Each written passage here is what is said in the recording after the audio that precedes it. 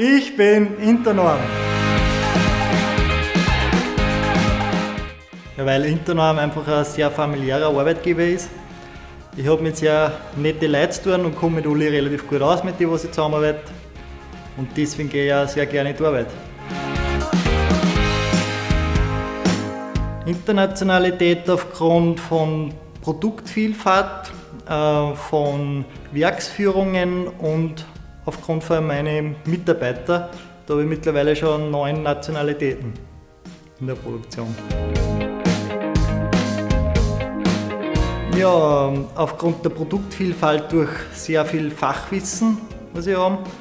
Ähm, und aufgrund der vielen Nationalitäten in der Produktion muss man dann mit Religionen, verschiedenste äh, Weisen, was wir so haben, gut zurechtkommen.